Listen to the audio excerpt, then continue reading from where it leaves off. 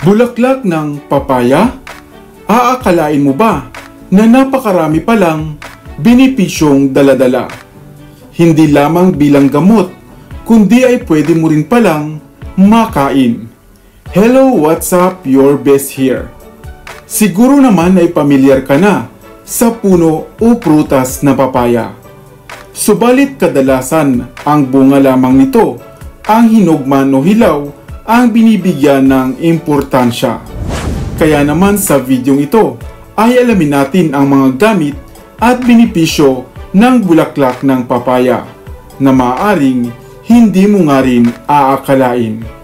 Pero bago tayo magpatuloy, kung bago ka pa lamang sa ating channel, ay huwag mong kalimutan na pindutin ang subscribe button at ang notification bell upang lagi kang updated sa aking mga bagong uploads. Lahat tayo ay pamilyar sa papaya, sa bunga nito, sa lasa at sa sustansyang daladala. Subalit batid ko na iilan lamang sa inyo ang nakababatid na maging ang mga bulaklak nito ay mapapakinabangan mo. Bulaklak na madalas mo ngang makita sa puno ng papaya. Subalit naranasan mo na bang makatagpo o makakita ng lalaking puno ng papaya? Ito ay kaagad-agad mong mapapansin o makikita sapagkat ito ay wala naman talagang bunga bagkos ay mayroon itong napakaraming mahabang bulaklak, hindi gaya ng babaeng papaya. Ang bulaklak ng papaya ay napakaraming nutritional value. Ang bulaklak na ito, gaya ng dahon at bunga, ay parehong nagtataglay ng mga nakamamangha at pambihirang mga benepisyo. Matapos kumain o uminom ng bulaklak nito, ay mapapansin ang pagbaba ng level ng insulin sa mga tao na mayroong diabetes. Napapababa nito at napapaayos ang daloy ng dugo upang maiwasan rin ang iba pang mga sakit sa puso. Kung kaya naman mainam na isama ang bulaklak ng papaya sa inyong diet upang maiwasan ang ilang mga iniindang karamdaman. Ang lalaking papaya ay nagtataglay ng mas mataas na nutritional value. Bagaman ito ay mas mapait. Kung nais mo na lutuin ito ay mayroon akong ibabahagi na ilang pamamaraan upang ang pait nito ay mabawasan. Subalit bago iyon, ay ano-ano nga ba ang mga benepisyong dala ng bulaklak na ito? Una, ito ay mainam o mabisang nagpapababa ng level ng sugar sa ating mga dugo na mainam nga lalo na sa mga diabetic.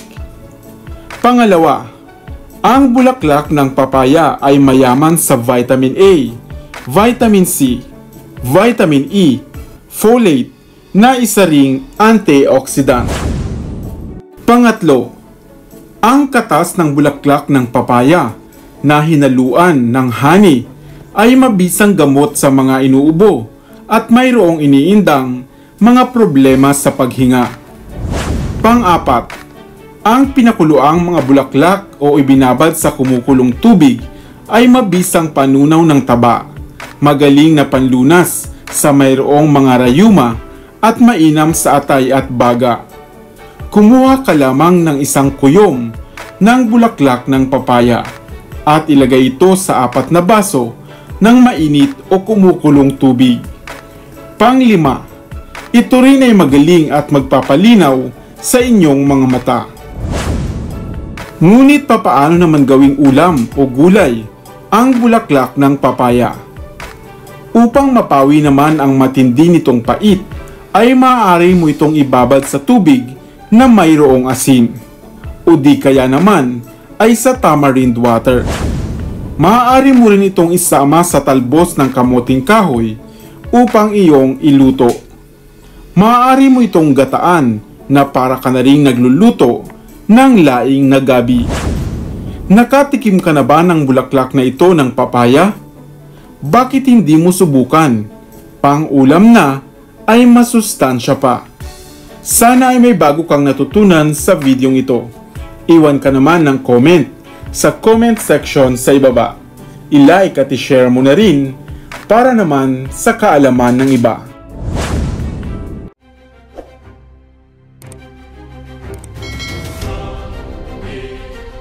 Para sa mga kakaibang kwento ng inspirasyon, kaalaman, hiwaga at misteryo, ako pa rin ang inyong lingkod, ang inyong best para sa Best TV.